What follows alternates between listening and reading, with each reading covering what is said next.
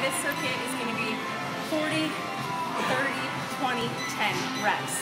Okay, so what you're going to do is uh, we're going to be doing pass the tray.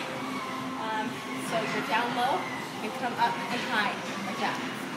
You're also going to do um, bent over shoulder press.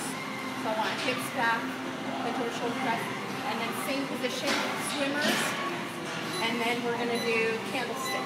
Okay. Um, so I want you to make sure that you're using heavy weight.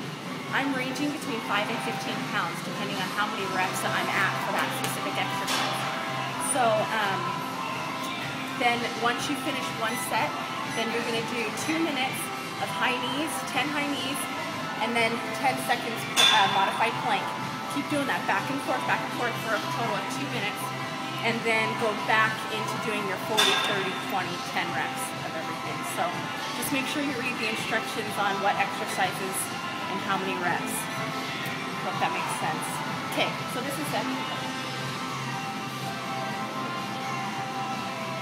Just tell them what it is. Okay, this is pass the tray.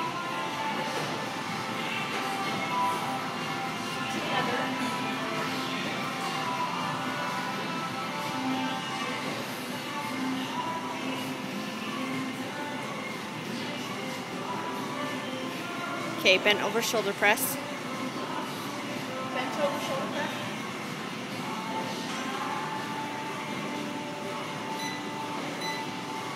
Swimmers.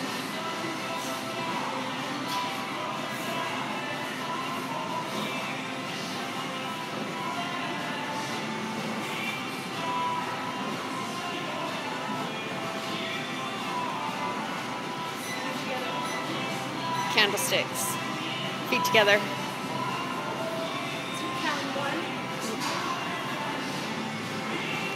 One, two, three, four.